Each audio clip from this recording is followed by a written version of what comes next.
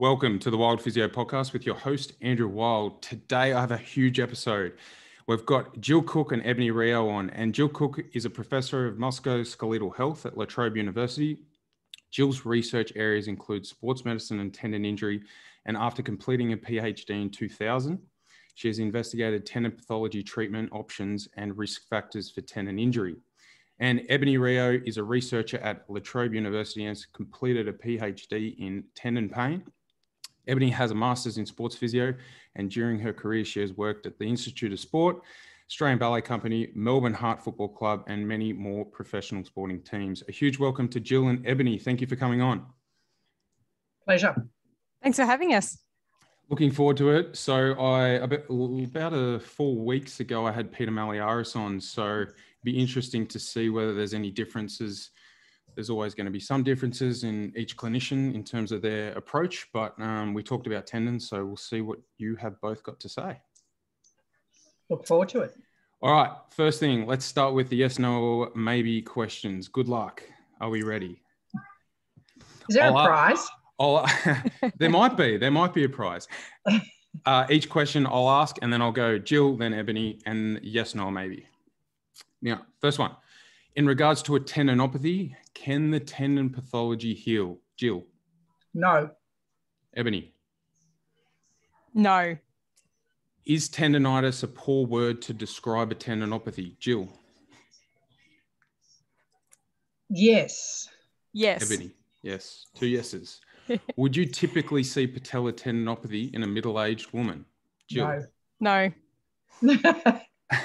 Are knee extensions a great exercise for patellar tendinopathy? Yes. Yes. If you have a diagnosed tendinopathy and you've seen a clinician and you have not been given a structured heavy slow resistance program, should you see someone else? Yes. yes. Should everyone do plyometrics for lower limb tendinopathies? No. No, not everyone. Is patellar tendinopathy overdiagnosed and the diagnosis is often patellofemoral pain? Yes. Yes. Should your rehab program be different for an Achilles peritendon issue versus an Achilles mid portion tendinopathy? Yes. Definitely. we'll dive into that one for sure. Do you have to be an athlete that jumps regularly to get patellar tendinopathy? Yes. Definitely. Is PRP an effective treatment for tendinopathy? No. No. Will patellar tendinopathy clients usually have calf weakness on the affected side? Yes. Yes. Done. Oh, I thought we'd have more maybes, but they were pretty straightforward. yeah, I, I let you off the hook. I let you off the hook there. I could have made them a few, a few of them a little bit harder, but yes, no, or maybe you nailed it. Easy. Did we pass? Absolutely passed. Well done. now, let's dive into it. First one. So, the tendon pathology healing. Jill, let's just dive into that. You said no. Basically, if we're talking about degenerative tendon pathology, which is the one that we see clinically most, then the answer is definitely no, because there is no structure in the tendon matrix. You have abnormal cells and it is not load sensitive tissue. And tendons need load to be able to structure a matrix, and they need normal cells to structure a matrix. Therefore, it's a vicious circle. If it's not, doesn't have structure, it's not load sensitive, therefore, it can't form structure. And it really doesn't matter what guru medicine you use, it is not going to heal, repair, normalize, whatever you want to say. Reactive tendon, which we don't see very much of, is a different kettle of fish. And perhaps I could leave that to Ebonie to comment.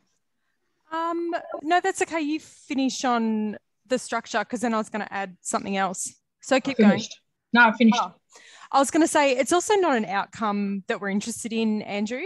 And so we're not looking to change the pathology. Um, we know that we can get really really good improvements in pain and function, which is what we're after. So even though the pathology doesn't change in the degenerative area, it's not a barrier to improvement. And I'll supplement that by saying Sean Docking's work on how much structure there is in a degenerative tendon shows that most tendons that have a degenerative area actually have plenty of good normal tissue. So it's almost as though you can ignore the area of degeneration and focus on um, improving the capacity of the normal part of the tendon. Do you use? Do you both use the concept of the donut, not the hole? Yes. Yep. So it's clinically something you use. Yep. It's really important for patients. Mm. They come in with all sorts of um, uh, ideas from their radiology reports, from their GPs, from what's on the internet, that they have a degenerative tendon, that it might tear and better not load. So you have to undo those things before you can actually get them to load. And, you know, I note that all of this biopsychosocial stuff is, you know, in, in tendon, tendinopathy now, but, you know, it's been happening for a long time. It, it's about educating these people. And this donut and the whole thing is so important. You have plenty of good tissue. There's no reason for you to be frightened of loading. And if you then structure their program so it's a progressive load, they learn um, very quickly that the tendon is happy taking load. Now, you mentioned scanning or MRI. A lot of my clients come in and they bring me an MRI. They're saying, oh, I've got a tendinopathy or I've got this on MRI. Ebonie, would you just dive into why often people have pathology but no pain and vice versa? Yeah, so um, critically, what we know in musculoskeletal uh, tissues is that we see lots of changes and we see them in people with and without pain. So, imaging is not diagnostic, not for um, tendinopathy, but not for most of our musculoskeletal pain conditions um, we see more changes in tendon the more you've loaded. So Kevin Lieberthal did some great work a few years ago in people with no Achilles pain that were runners. And he found that essentially you were more likely to have changes in your tendon if you'd been running for longer than seven years. So it's a load related change rather than being diagnostic. Um, we recently did a consensus process and agreed with a lot of international experts that imaging is not required to make a diagnosis. And clinically, it's really misleading because a lot of people will have pathology, a lot more people will have pathology than what will have the condition. Jill, you got anything to add there? No, not really. But where it does help Andrew is it's unlikely you have tendinopathy if you have a completely pristine tendon on imaging. That's a really good point. So I, negative imaging is more helpful. Yeah, yep. And I am currently dealing with a little bit of patella tendinopathy on my left side. But as a bit of an experiment, what I did is I actually went and had an MRI on both of my knees, and it came up with a little bit of patella tendon or tendinopathy on both sides. But my left tendon was is the symptomatic side, and it makes complete sense. I was a high jumper, and I played Aussie rules, and I jumped off my left. Makes complete so, sense yeah, can we can we just expand? Ebonie talked that tendons are about load accumulation over life. So as you get older, you're more likely to have pathology. If you do more, you're more likely to have pathology. The patellar tendon is actually quite different. So we're in the process of confirming some research that we've done pilot work for, is that patellar tendon pathology develops in adolescence in tall, often in tall jumping men and it's about a maturation disease. So if you are trying to attach your tendon to the patella, and that happens in the one to two years post peak height velocity. So for, for boys, 15, 16 sometimes, um, girls perhaps a little bit earlier. If you do excess jumping in that time, you can disrupt that attachment and you form a pathology. And then you carry that with you in life. So it's actually quite different from the Achilles, which is a true load accumulation disease um, glutes load accumulation, hamstring tendons load accumulation. So it's actually quite different. Got anything to add there, Ebonie?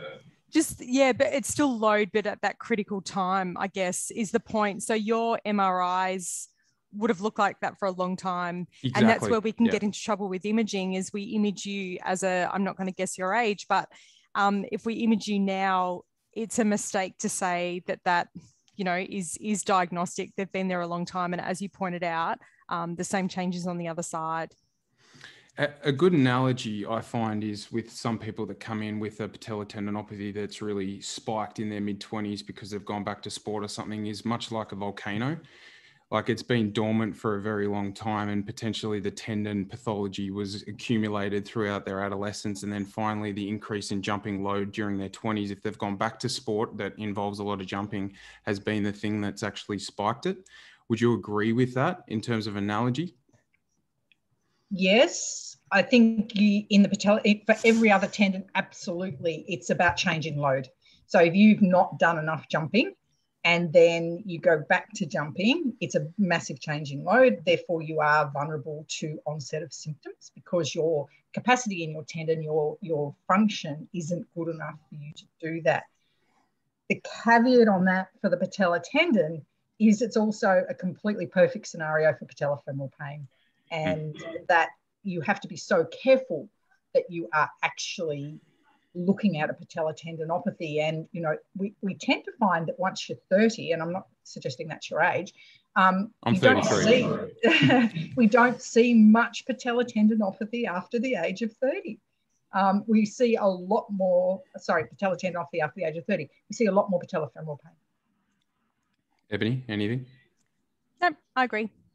Now, in regards to the differences between patella tendon pain and your patellofemoral type of uh, syndrome or pain or whatever you want to call it, what are the differences and what type of symptoms and clinical presentation will you have if you have patella tendinopathy? Ebonie. So it's critical that people take a really good history because there's so many similarities. So actually, the devil's in the detail. So if you play basketball, it is a huge amount of patellofemoral compression as well as jumping. You know, they they spend a lot of time in that squat position. They can dive on their knees. Same with volleyball. So even in a jumping athlete, it's not a foregone conclusion that it's jumper's knee or patella tendinopathy. So the first thing is understanding tendon load and understand what is high tendon load for that tendon. So for the patella tendon, that's our jumping. It's also our fast lunging change of direction. But again, both of those can provoke the patellofemoral joint. So you need to go further and find out if low tendon load is provocative. So do they have pain when they run in a straight line? Not tendinopathy, but it can provoke the patellofemoral joint. Do they have pain on the bike? Not tendinopathy, but it can provoke the patellofemoral joint. A lot of our clinical tests will provoke each of those conditions. So a really important question becomes where their pain is. Patellar tendinopathy is really focal at the inferior pole and it doesn't move or spread. And we're talking about that focal pain under high tendon load conditions, not with palpation, because it can be very sensitive in patellofemoral pain to just poke the tendon. It can be a really sensitive region. So we're looking at localized pain with high tendon load. But the third thing that I think um, is often forgotten is tendon pain behavior tendons have a classic um, warm up phenomenon only to be worse the next day. And in other conditions, we can see a much more variable relationship with load. Patellofemoral pain can hurt a lot more that night um, and they can be fine the next day. So it's really just putting together the whole story. From an objective perspective, um, we do see differences in the way they hop. People with patellar tendinopathy hop with a really stiff knee. So clinically, as soon as we're seeing someone that's getting into a lot of knee bend, particularly with valgus, it really points towards the patellofemoral joint. Jill? Yeah, I, I agree. Um, we, we see differences in muscle wasting. You tend to lose muscle very quickly in a tendinopathy and much, much less in patellofemoral pain. So we see a lot of frank quad and calf wasting in patellar tendinopathy. And with the patellofemoral joint, you're sort of thinking, oh, maybe the quads is a bit down and, you know, we've really lost VMO, which is fabulous. Um, they, they don't tend to be quite so overtly um, have such overt muscle wasting.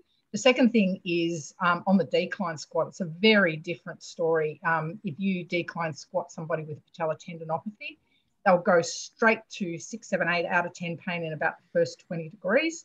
Someone with patellofemoral pain will get to 40 or 50 degrees and have three or four out of 10 pain, and it becomes more localized, uh, less localized, whereas our patellar tendons, boom, straight in early, localized, whereas patellofemoral pain is a very different story. Um, and, and of course, as Eb said, we see, you know, the kinetic chain changes above the tendon in patellofemoral pain. in tendinopathy, we see the changes at the muscle tendon unit and below. So we see a lot of hip dysfunction in people with patellofemoral pain, much, much less in people with patellar tendinopathy. Yeah, really well answered. Now, in terms of plyometrics, you both said that people don't need to do plyometric. Not all people need to do plyometrics for a lower limb tendinopathy. Why is that the case? Because I think a lot of people think that you should just make sure everyone's doing plyos, no matter whether it's the patella or the Achilles, no matter their age. Jill, we'll start with you. Yeah, let, us have a recipe, why don't we? I mean, this is this is where we go wrong so much. So you know, it's really obvious if you're progressively loading someone and taking their function and capacity up to a level that you then need to maintain that level to maintain that function. So if you get somebody hopping and jumping and changing direction, if you go back to being, a, you know, someone who walks their dog or plays golf, then you're never going to maintain that capacity. So there's two things. Why are we rehabbing somebody who isn't using their tendon in a plyometric way to do plyometrics, aside from making their rehab longer and actually potentially provoking them, when they go back to their normal life, they're never going to be doing that anyway. So there, there's no point in taking an older lady with glute med tendinopathy to hopping and jumping because she just wants to walk. She wants to be able to shop and go up and down stairs. That's the function that you restore for her, and that's sufficient. Um, obviously, if she's a master's athlete and a runner, of course you do it. So it's about required capacity. So no point taking people beyond their required capacity because you'll never keep it. Love it. Ebonie? Agree. It's just really individual. So restore um, their function at whatever level their desired function is. And in regards to weighted plyometrics, I know these are big in the world of strength and conditioning. You see a lot of trap bar jumps, this type of stuff. What are your thoughts, Ebonie? So, um, Craig Purdam has put together some fantastic slides looking at uh, different activities. And as you add speed, you actually add substantial load to the tendon. So that's what's that's what's a challenge for tendon is anything that's fast. And so as soon as you are doing something quicker, the rate of loading that you're applying the tensile load it, it spikes dramatically. So going from something like a leg press into, um, you know, a vertical jump into a stop jump or a counter movement jump, the the load through the tendon is massive. So you actually don't need, nor is it probably safe, to be adding additional load aside from body weight. So we do heavy loads with external load, nice and slow. And then as soon as we're doing function or um, energy storage work, it's body weight only because that's a huge jump in load for the tendon anyway. Jill? Yeah, um, I think it's easy to say strength and conditioning, you know, add load to plyometrics. And I think that's fine, but not in someone you're rehabbing with a tendinopathy and likely not in somebody who's got a history of tendinopathy because that'll blow them up for sure. I've always said to add load to plyometrics, and plyometrics, let's define it. It's the speed, the rate of loading that Ebbs talks about, plus height or weight. Um, adding that sort of load to a kinetic chain to a, an affected tendon, I think you need a base of about 12 to 18 months of strength and plyometric work before you could even think about adding load. And for most of us who are treating people with tendinopathy, that's that's beyond our remit. We rehab people, get them back to their sporting environment, and we often counsel them not to do plyometrics with weight until next season or the season after, um, where they've actually got a better capacity. But you know, on the whole, you don't need it unless you're super elite to be able to do those sorts of exercises. And if you are if you are adding plyometrics into someone's program, there are a certain amount of plyometrics that you're typically going to give a client? And also, are there a certain amount of jumps per session that a client or an elite young basketballer should be doing while they're at training to prevent or reduce their risk or deal with a current tendinopathy? Ebonie. Oh, there's about 12 questions in there, Andrew. so, um, if we're going with prevention, the research would say that we have no idea how to prevent a tendinopathy. If we're going with first principles, we would say that tendons hate change. So reducing uh, change for people and keeping them doing some sort of load, not having a complete off season would be important, but also making sure people have the strength in their muscles as well. So they would be our two uh, best ways of attempting to prevent tendinopathy, particularly in those with a history. Um, if we're talking about people that we're rehabbing, again, it's whether or not we're talking about rehab or in season, and they're quite different as well. Jill, do you want to jump in? Yeah, I, I think um, in season's quite different because there's so much manipulation of load and and what loads you add and what loads you take away are really important. Um, but if we're trying to get somebody through a rehab progress back into a training environment, two things we do. One, we make sure that clinically or in our rehab program, they have the capacity to deal with a certain number of jumping maneuvers, if we're talking patella tendon. Um, and once we can show that they can do 30, 40, 50 jumps and not have a flare the next day, then we can think about transitioning them back into a training environment, but in a really controlled way. So if they can do 50 jumps before you say go back to training, then you send them back to training doing 50 jumps and then you gradually increase that. So it's about progression. So your progression doesn't stop with your heavy slow resistance. It's so important to count your plyometric loads on a tendon and to progressively increase that because if you rehab them, cut them loose, send them back to the coach, he does a two hour training you've done 800 jumps, I mean, exaggeration, maybe not for volleyball players, um, you know, they're going to fail because you've got them up to 50 jumps and then you send them back to training and they do 800 jumps. And that's, that's not, that's not progressive. Yeah. Well answered. Now, and can I just add one more thing? Yeah, go for it. And that's why it's so important to understand what's high tendon load because that's where our GPS and some of our other markers of um, training intensity don't give it to us. Um, you know, if we're talking about the patella tendon, the patella tendon doesn't really care how much you've run in a session, but it cares how many times you've jumped and how many of those big lunging change of directions that you've done. And and our uh, our current methods of tracking that tend not to be very helpful. Yeah in regards to when you do a squat, obviously, when you get into deeper ranges, your knees start to track over your toes. And I don't know whether you've seen online, there's a guy in the States, the knees over toes guy, that's doing a lot of work where he pushes people into deep ranges of knee flexion to try and help people with chronic knee issues. And one of the things that he does is a decline board squat for full deep knee flexion.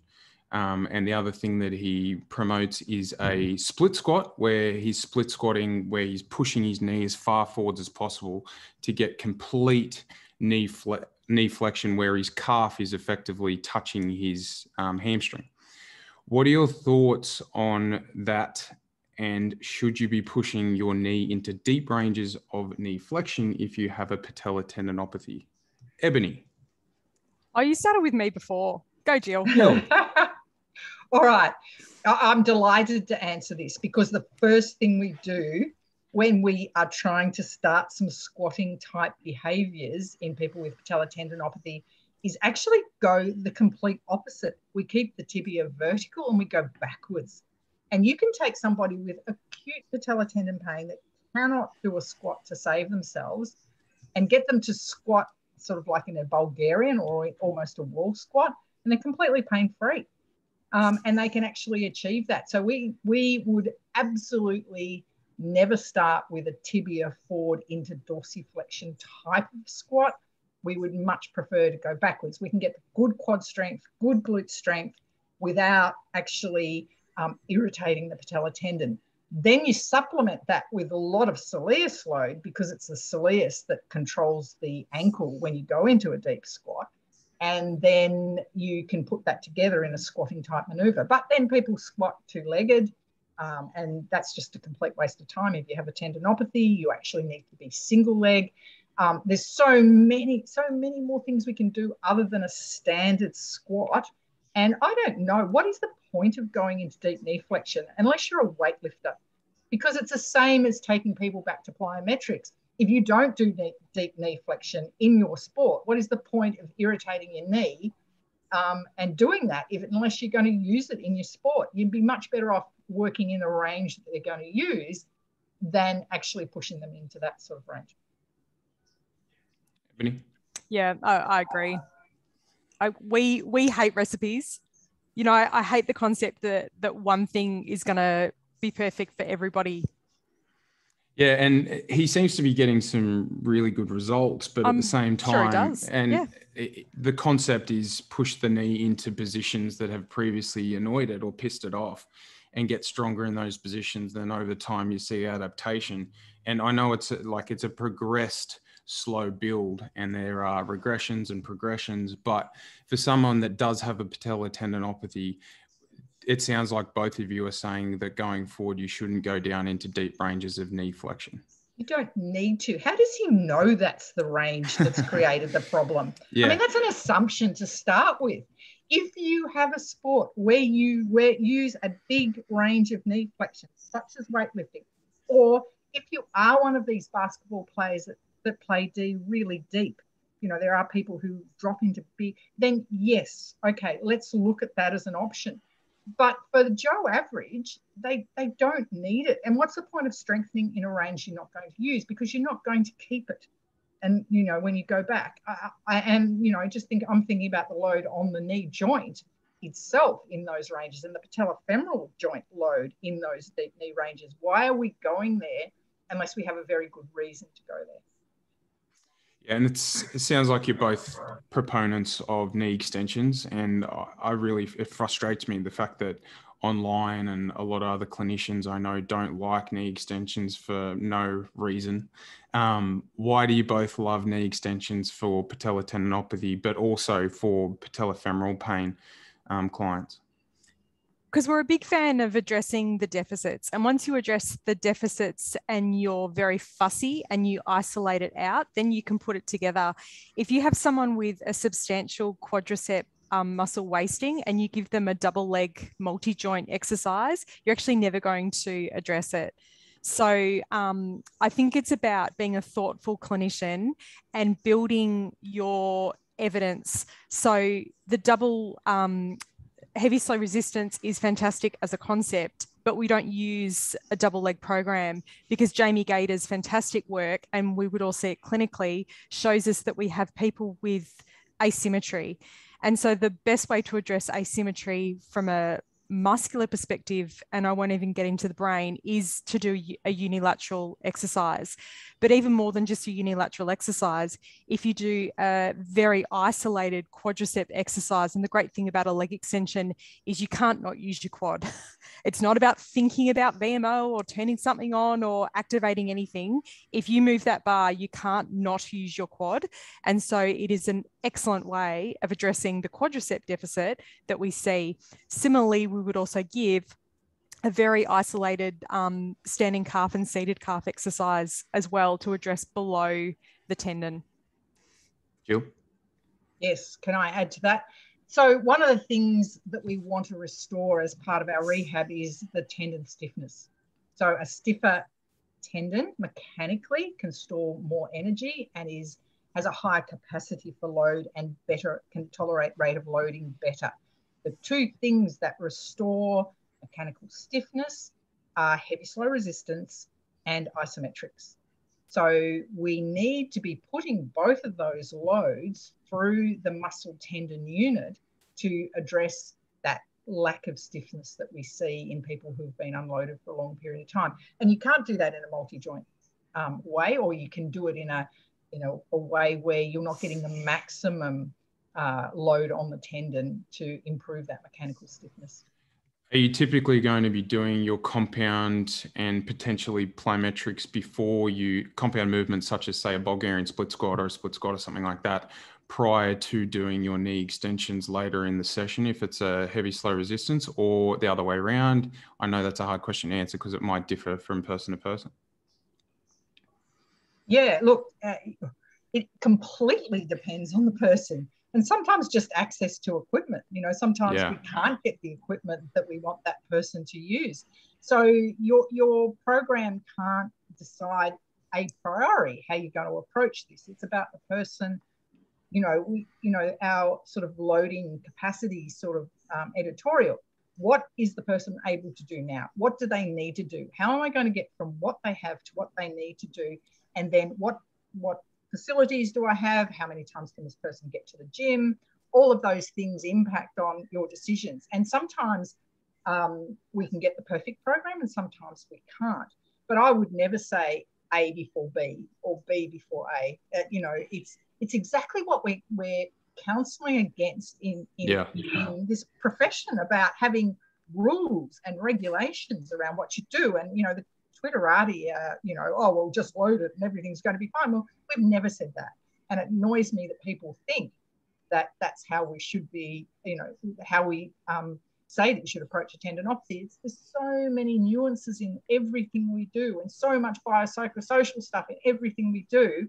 And it's easy to sort of just distill it down to a simple thing. And that's what drives me mad, in case you hadn't heard that. Ebonie? No, I don't have anything more to add. Nothing. Yeah, I, have even done a couple of experiments on, on myself. You know, changing where I put my knee extensions, and I found that the knee extensions prior to doing a heavier Bulgarian split squat makes it feel so much better. And I tried the other way around, and I didn't like it as much. the The tendon pain the next day was definitely worse if I went Bulgarians first. Um, so yeah, I completely agree. You need to make it individual to the client. Um, now, on the single leg stuff, so you both mentioned that you really love the single leg stuff. Why is single leg work so important? You've also you've already touched on it. Um, so we're talking single leg work like your Bulgarians, um, your split squats, your lunges, and also looking at doing single leg knee extensions rather than double. Everything you do as a human, you do on one leg at a time. Exactly. Running is a series of hops. Yeah. Um, you know, even double leg jumping in things like volleyball, you know, the way they take off, it's it's it's you need each leg to be independently strong to be a human and an athlete. Walking up and down stairs, we do everything one leg at a time. Jill? You will you will avoid loading any structure that doesn't want to be loaded if you give people options to do it. Two legged stuff gives you options to take the load off the affected muscle, tendon, joint, whatever you want to do it. Same as multi joint stuff gives you that option. So if you do a double leg squat, your affected tendon, muscle tendon unit will avoid it. You know, you, you know that for yourself. So you've just got to keep going backwards until you get the load on the structure you want, until it's actually and, and Ebbs might be able to talk about the brain here, but we get massive inhibition, as you know from Ebbs's fabulous work, for that muscle that's uh, uh, attached to the affected tendon. So if you give it a chance to unload, it will do it. And by loading it, you actually potentially have the effect on the inhibition, and then you can build it back into the kinetic chain. Anything to add there, Ebonie? Um, yep. So there's really good evidence from a brain and sort of um, the way the brain controls the drive to the muscle that unilateral exercise is really really important for that inhibition that jill spoke about. So i can go into a really nerdy answer but yeah i won't go I, go into the nerdy stuff. Like and can we talk about because i wanted to talk about how you use the analogy of the accelerator and the brake and how you use the metronome and all that sort of stuff. Let's dive into that right sure. now. Sure. Yep. So um, everything we do is controlled through uh, different um, communication in our brain, and in particular, one main region called our motor cortex. And our motor cortex, all of our movements are represented. Our muscles aren't, it's actually a movement representation. And from that little region of your brain, it controls uh, a movement and it does so like the accelerator and the brake of a car. So you can think of the accelerator as being your your excitability okay? It's like the on and then you can think of your brake is the inhibition. And everything is a balance between those two things regardless of whether or not it's fine motor or gross motor. We're balancing our brake and our accelerator and it's predominantly driven from that motor cortex. What we've seen in people with um, patellar tendinopathy and we've also these some other research in the elbow and the rotator cuff now that shows that people with tendinopathy have changes to the way their brake and accelerator works. It's quite a different profile of motor, motor drive. And our traditional rehabilitation, um, including strength training, doesn't actually address the motor drive. You'll get stronger in your muscle, you'll get changes in tendon stiffness that Jill spoke about, you'll get really, really important physiological changes, but it doesn't change the brake and the accelerator. And that could be one of the contributors as to why tendon pain is. Um, really recalcitrant to treatment it can come back we can see it on the other side it can be one of the reasons why it's it's a real challenge clinically so um, does that make sense with the brake and the accelerator, Andrew? Yeah, exactly. Really well answered. Yep. Continue if you've got more to add. Yep. So the metronome is one method that's been used in the neuroscience literature to essentially make our strength exercise like a skill. So, what I mean by that is if you just sit on the leg extension machine and you just go through the motions, as I said, you'll get stronger. But if we pair that with an external um, beat, then you're actually not responding to that beat, you're actually anticipating it. Your brain waves change, different interneurons in your brain connect, and your brain has to really plan. It has to make that movement quite skilled. If you tell me i've got three seconds to do a concentric and four seconds to do an eccentric i actually have to plan and i have to use my frontal lobe. I have to use a number of different parts of my brain to make that a skill. And the effect of that is that we're able to change our brake and our accelerator it's not the only technique but it's a it's a simple one that we can pair with load because it's important when we're thinking about the brain that we don't swing the pendulum so far the other way and think oh we've just got to do deal with the brain we actually need capacity in the body as well Jill, have you got anything to add there? And really well answered, Ebonie. That was amazing. No, nothing to add. Great. And in regards to using the metronome, do you use the metronome for a vast majority of your clients, or is it only in a small proportion of people that you use it? Yeah, it's a good question. I tend to use it for. Um, I tend to use it specifically for that muscle, the affected muscle tendon. So um, I don't make them listen to the metronome for every one of their exercises because I think that's awful. yeah. um, I, can, I, can, attest to that. I tried the whole metronome thing and I hated it. so I, will negotiate. You know, I might do the leg extension, but then they can listen to music for, you know, everything else because the best exercise is the one that gets done. So um, it's about finding a balance for adherence as well. But for the person that's going too quick with their exercise, it can be a nice way to actually guarantee your time under tension. Um, it also augments uh, cross education. So I would get someone to do it. So just say you've got, I think you said you had right sided um, patellar tendinopathy, Andrew. I'd get you to do it on each side because you'll get cross education and you'll get um, more improved cross education doing it. Anything to add, Jill? Yeah, one of the things that you see people do is their heavy slow resistance far too fast and it's a really good way of making them slow down. It gets fabulous brain stuff, as Ev's talked about. But we, I see too many people using way too much of their elastic component to get through their exercise as quick as possible. You know, I've got five minutes to get to the gym, fling a flu and then get out. The answer is that's not really helpful, especially in the early stages of our heavy slow resistance. Quality over quantity. Um, Yes.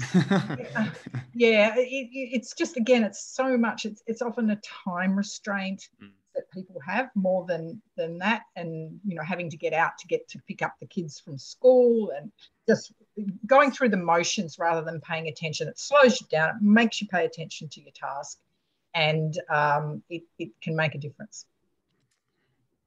Now, Ebonie, I've seen you on, I think the Learn Physio Instagram, uh, discuss the Achilles peritendon versus the mid portion Achilles tendinopathy. Can you dive into the difference and how it's going to present differently and also what you're going to do in terms of treatment? I Go feel very it. passionately about this. I can tell. I, I can tell when you when you see I've you. On, she's ready. Go. I'm ready. Okay.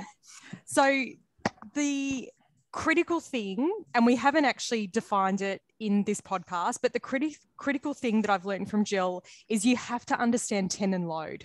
So you have to understand the load that the tendon is seeing. So, very, very simply, if we think about a load that will provoke our mid portion, we're talking about loads where we're asking our tendon to store and release energy like a spring in the Achilles. Okay. So, that can be, you know, running. But even as we get older, we need to use our Achilles tendon like a spring to step off a curb to walk downstairs. So we we use our Achilles tendon like a spring throughout our lifespan, which is why we can see such a heterogeneous group of people with Achilles tendon issues, unlike the patella tendon, which is our little unicorn, a very specific subgroup of anterior knee pain. But if we think about the loads that are going to provoke the peritendon, and just to remind people, the peritendon is the outside sort of sheath that slides and glides over the, the tendon itself. The loads that will provoke the peritendon are lots and lots of movement, but not necessarily energy storage. So, some clinical examples, Andrew, would be things like cycling, where people are going through repeated plantar flexion and dorsiflexion, the rowing machine, um, swimming. So they're getting lots and lots and lots of movement, but they're not using their tendon like a spring. So that's what we want to listen out for clinically as a differentiator where I see clinicians get caught up is not listening to tendon pain behavior. So we said before about tendons warming up. This is so helpful to differentiate a mid-portion tendinopathy from a peritendon. If you have someone with tendinopathy, they often feel stiff and sore at the start of an activity and it warms up, but they're worse 24 hours later. If you have someone with a peritendon condition, the behavior can be very different. You might have someone that is a runner and you think, oh, well, that's that's tensile load, that's energy storage load, it must be mid portion.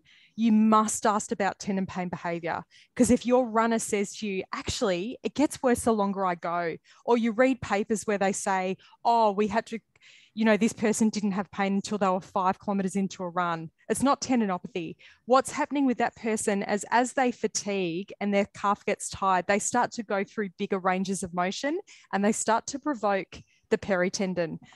So we are interested in um, diagnosis about pain location, mid portion, very, very focal under load, provoked by our energy storage load, peritendons can be much more diffuse. They're provoked by movement loads. So the history is critical. Tendons that uh, warm up, more likely to be tendinopathy. Ones that get worse the longer you go, far more likely to be a peritendon condition. In the assessment, um, there are clear differences in how they present. And um, Jill, I'll let you talk about that. The final little tip I'll give you for a peritendon is you can actually put a stethoscope over mm-hmm. the tendon. You get, get them to plantar flex and dorsiflex, and you can hear the crepitus. The critical reason why you differentiate these is your management. If my peritendon is provoked by movement loads, am I going to give this person calf raises? I hope not.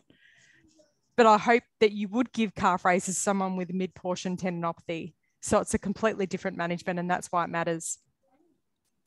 Jill? Yeah, um, so differential diagnosis has to be a passion of both Ebs, and I because when we run our desperate and dateless clinic, which are people with long-term tendon pain that are not getting better, it's interesting. It's differential diagnosis that comes out again and again and again as the reason that these people are not getting better. People are not discriminating tendinopathy from other sources of pain. And, you know, for, for anterior knee pain, 95% of them are patellofemoral and 5% of them are tendon. Um, and for Achilles, probably 50 50. People who've had long term tendinopathy and had treatment, it's about being specific about the diagnosis. And as Eb said, just to talk about how they present, you know, they they have a very different history as she talked about. But what we see in a tendinopathy is this load dependent increase in pain. So two-legged slow will be less sore than one-legged slow, which will be less sore than two-legged fast, which will be less sore than one-legged fast, so hopping, um, which will be less than a big hop. So you get, as you increase the load on the tendon itself by increasing the rate of loading, their pain tends to go up. In our peritendons, it's all over the place. They can be quite sore with very low loads and not as sore with high loads or it can be the same the whole way through. Um, and so it, it, you're just not seeing that load dependent increase in pain. And put that together with the fact that it's often not localized, it, it tends to be distributed more. Those are the two things that make us say this is a tendon. Localized pain stays localized with load and a load dependent increase in pain. Now, peritendon doesn't fit that. So, whether you call it a tendon related condition, it still needs to be discriminated from a true tendon um, tendinopathy. Could you often see a peritendon issue with someone that's been doing a lot of calf raises off the edge of a step? If, say, for instance, they're a bodybuilder or something like that, Ebonie? If their technique's poor, especially because they actually bounce, um, yeah, and get a lot of a lot of shear and friction. So, yep, you can. Jill, can I can I just add one more thing? Um, in in patel in anterior knee pain, we tend to see either tendon or patellofemoral pain. Yep. And it doesn't tend to mix, and that's a that's really poor clinical practice. If you say, "Oh, it's a bit of this and a bit of that," it just doesn't happen. It is either one or the other. But all our other tendons can be a bit of everything. So you can have a little bit of tendinopathy and some peritendon issues so if you don't have capacity to run, you can actually irritate both structures by increasing too much load on the tendon, but also starting to go through a bigger range of motion and, and have a peritendon. So you need to be addressing both of those issues and you work, need to work out which one is the main source of your pain, but you have to treat the peritendon before you can treat the tendon um, because that's an easy gain. You'll get, get that under control relatively quickly in inverted commas. So it can you can get a mix and match um, where some of your pain is from the tendon some is from some neural structures and or peritendon, whereas in the anterior knee it's one or the other. Like an Achilles, it's like an Achilles with the lot. Absolutely. um, now, in regards to shoes, so say for instance, someone comes in and they've got an Achilles issue, whether it be a peritendon or an Achilles tendinopathy mid portion would you get them to go into a bigger drop in terms of the shoe height, in terms of the heel? What are your thoughts on adding heel lift? Ebs, do you want to have a go? Sure. So, if we're talking about the peritendon, um, then footwear is really important because if someone is in a shoe with a big heel, they won't go through as much range of motion, even just walking around. So there'll be less peritendon irritation. So it's actually a really important strategy for us for settling them down. Um, the mid portion doesn't care about a heel lift because it's uh, the the insertion does because the insertion doesn't want to be in compression, walking around and getting into dorsiflexion.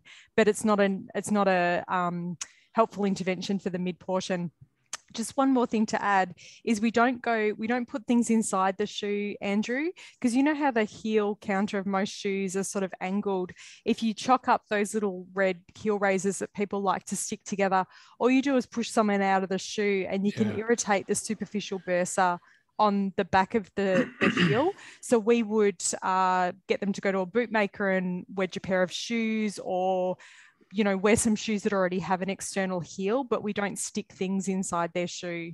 But peritendon, very important, mid portion, less so for me. Yep.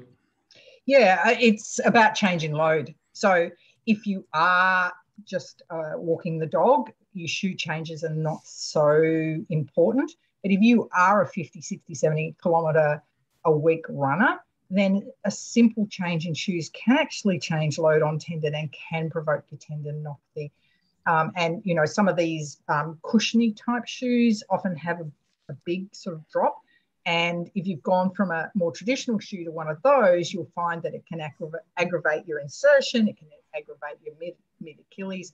And it's about the combination of the change in your position when you run and the amount of volume that you're doing. So if you do a low volume, you can do just about anything. But shoe change can be quite important. Um, um, and just as a, a, side, these new carbon fiber insoles, you know, most people are really enjoying those who have foot and or Achilles inju- injuries or, or Achilles pain.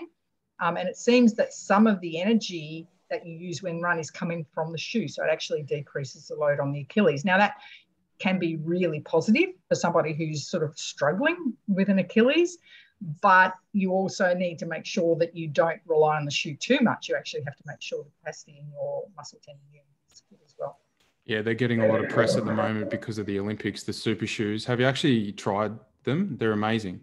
I have a pair and I just am wholly in love with them. They're basically. amazing. I, I can't get over how good they are. It's like a, it's like you're running with springs. Yeah, exactly. I feel like um, Roger Rabbit. I feel like I can, yeah. I can just, you know, I feel like I want to run in them. Whereas yeah. a normal pair of shoes, I feel like, oh my God, do I have to run? Whereas those make you feel like you've got something underneath you, almost like, you know, the Jetsons, where you have those little, you know, um, rockets under your feet. They're, they are amazing. Um, just a caveat, they're very expensive and they don't have a long life. So um, you have to really be passionate about your running. Or I think for people with foot problems, I think taking aside the Achilles, I think they're really fabulous for the Achilles. Not so good for the insertion because they've, they've got a drop. Um, so you have to be careful from that perspective. But if you've got midfoot problems, you know, a bit of um, tarsal arthritis, um, even some um, big toe arthritis, they can be fabulous because they take away all of that movement through there and, and give you something back. But again, you know, you could argue you need to supplement that with some intrinsic muscle function because it'll be taking away that um, as well. Ebonie, have you tried them? No, I haven't tried them, but I might have to invest. You guys are talking them up. Yeah, well, you, you, even look at the the times of the Olympics at the moment. The 400 meter hurdles in the women's and the men's got broken and it got smashed. You know, like they mm. absolutely destroyed it. And they're talking that the track's quick and it's warm over there, but the shoe, the super shoes, are obviously having an influence. And Kipchoge broke the world record in the the marathon, well, the unofficial world record in the marathon with them on, and that's when they started to get all the press. And Usain Bolt's come out and said that he disagrees with it, but I'm all for it. If everyone's got access to it, go for it. I think it's good. Um, it might be like the suits in swimming. They might rate it back yeah. a bit. Mm. I think Very, they already are. Oh yeah. Okay. Mm. There, there yeah. there's talk, yeah, for sure. I, I think it's kind of a good thing in a way, but there needs to be a point where they pull things back. You know, you can't make it too super. No, it, it comes down to accessibility. It, it's it's no good if it's accessible to wealthy countries and not to poorer countries, and exactly. that's often the way in the Olympics.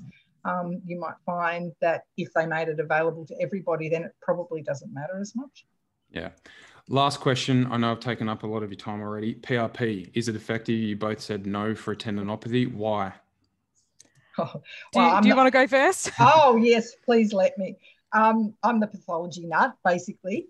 Um, it, nothing changes pathology. Why? Why would we think that sticking something in a pathology is going to change either the tendon structure, the cell function, the cell abnormality, or the slowed sensitivity? I, you know, do they have healing, you know, properties? Pretty much no.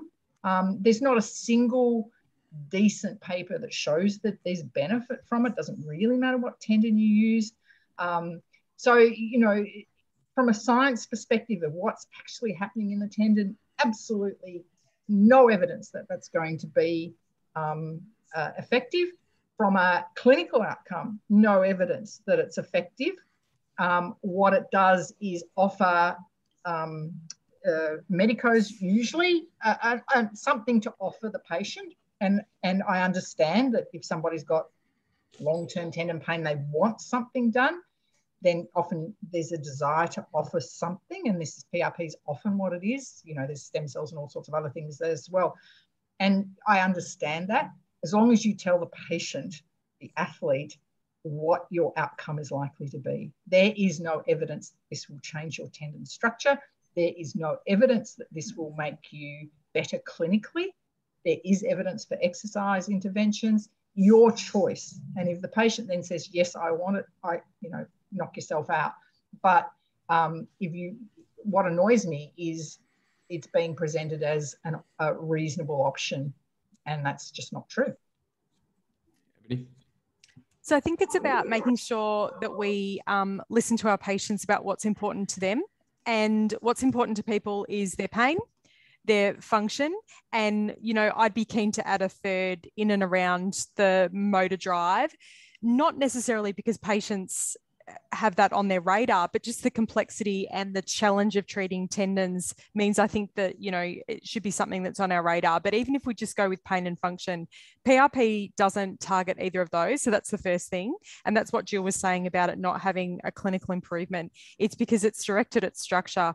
It for me it creates an ongoing narrative that i need to fix you. It's the opposite of of our empowerment and the biopsychosocial model that we're talking about in the education. You know exercise is the most efficacious treatment but it's also incredibly important for self-efficacy. You know it's something that that person can do as opposed to i need to do this treatment to fix your structure which is not only incorrect um, it creates a negative and unhelpful narrative around um, around the condition yeah, really well answered. Anything to add there, Jill? No, I think it just is a perfect example of how complex this is. This idea that tendinopathy is easy and that you just just do this or you just do that um, is is just flawed. It's about the person. We always said treat the person in front of you, and that can be anybody from an 80 year old with a glute tendon to a, Olympic sprinter. Why on earth do we think that that is a simplistic there's a simplistic way to deal with those two extremes. For sure. Thank you so much for both coming on. Now, a lot of physio students and new grad physios listen to this podcast. I'll give you both a couple of minutes to give out any advice you've got for them, some uh, golden nuggets of wisdom. Go for it. Jill. Oh, gosh. For their careers, do you mean? Yeah, like careers or even just okay. you can give some um, you know, some okay. golden nuggets of tendon yeah. tendon right. pain. All right. Okay. Here's my golden nugget that's just my passion at the moment. Get in the gym yourself. Yes. Because you can't. You, you, we see people trying to prescribe load when they actually don't know what it feels like to experience load. They don't understand progressions. They don't understand what it feels like to do 20 reps versus five reps how can you prescribe load without actually knowing how it feels to for yourself? So there's my golden nugget.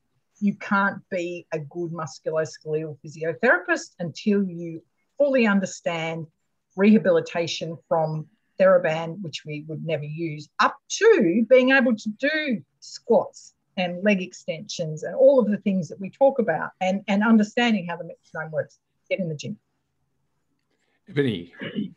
Physio is such a fabulous profession. And if you're not liking it, and I'm directing this at our new grads because unfortunately the attrition rate from physio is too high, we lose too many fabulous, young, talented, smart people to other professions.